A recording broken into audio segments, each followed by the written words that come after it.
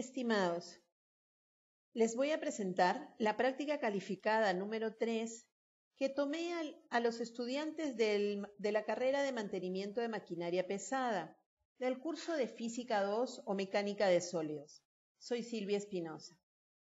Utilicé la metodología de casos este, para esta evaluación. El objetivo era hallar la potencia de un camión o estimar la eficiencia del mismo. Se les pidió en grupo de A4 que escogieran una marca y modelo específica, buscaran de esta marca y modelo la potencia de este, de este, este sistema. Con el celular tomaron un video de 10 segundos y lo llevaron al programa Pasco Capstone para así poder editar y hacer un análisis del video. Se les pidió que colocaran las páginas tal como lo vieron en la plantilla anterior y se les evaluó teniendo en cuenta eficiencia, cálculo, análisis, cómo hicieron sus conclusiones, sus recomendaciones, las referencias y la forma de presentar. El curso es de física, así que Serway y Sears son la base de nuestro trabajo. Ahora les voy a presentar el ejemplo de un grupo de estudiantes que obtuvo 16. Este grupo de estudiantes colocaron las pestañas tal como se les solicitó. Los datos en la primera página.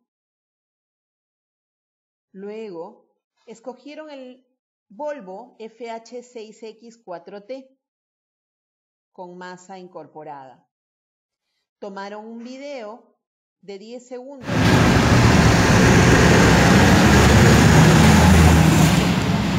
Tiempo, una gráfica cuadrática. Observamos aceleración, la aceleración del sistema, la fuerza, porque teníamos la masa en el brochure. La fuerza y la distancia, el área del sistema, lo que les da es el trabajo del sistema. El cálculo de los datos lo podrán observar a su lado izquierdo, la cuadrática que obtiene la aceleración con la masa del sistema, la fuerza, el trabajo vendría a ser el área debajo de la curva y en el tiempo correspondiente a nuestra lectura, 38,69 kilowatts. En el brochure decía que la potencia ideal es 353 kilowatts, es decir, tenemos una eficiencia de 10.9%.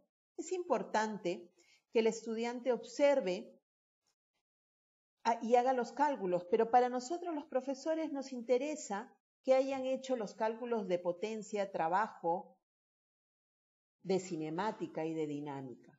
Las recomendaciones las tiene que hacer en función del motor y en función a su carrera, no en función a curso de física.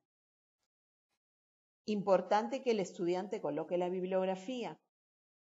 Esta es la experiencia de TechSoup en el semestre 2017-1 del curso de física. Soy Silvia Espinosa. Gracias. Bye.